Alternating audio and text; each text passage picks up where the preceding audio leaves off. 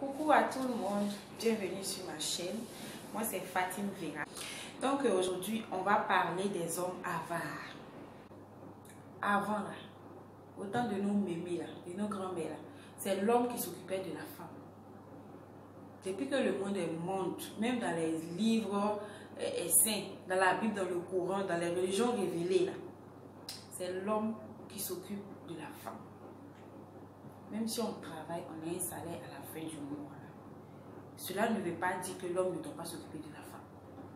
Et puis quand on dit un homme est avare, c'est celui qui a l'argent, qui a les moyens et qui refuse d'aider sa femme, de subvenir aux besoins de sa femme. Voilà. On n'a pas dit les gens qui n'ont pas l'argent, leur jalousie, leur mougouli, tu peux pas. Il va pas te donner l'argent, mais il est là sur toi, il te mougou, il te mougou, il te mougou. Tu vas, tu n'as pas droit au plaisir. Je soutiens la coach. C'est va, vous voulez avoir jolie femme. Parce que jolie, là, ça tombe du ciel.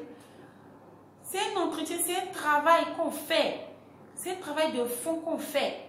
Quand on va parler, ça peut dire non, la fille là, elle aime l'argent, la fille là, elle est matérialiste, la fille elle est ceci, elle est cela.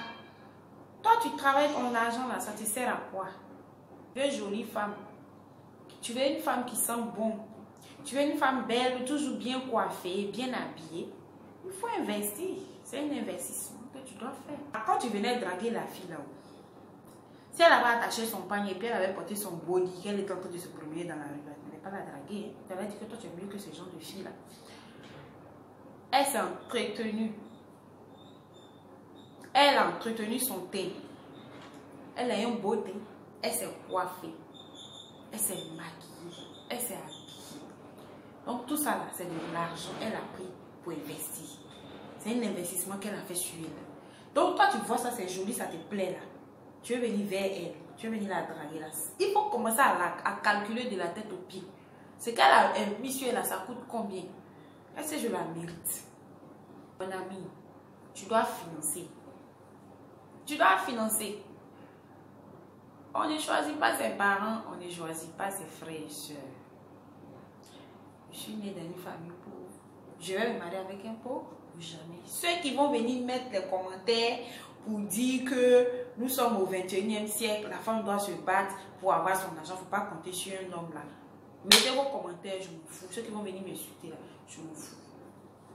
Je suis en point de pauvre, je ne peux pas me marier avec un pauvre. La pauvreté même là, ça amène l'homme à l'enfer. Parce que ce que Dieu a interdit de faire là, quand tu es pauvre, tu es tellement pauvre là, tu seras obligé de le faire. Pour pouvoir manger. Donc, un homme avare n'a pas le droit de jouir.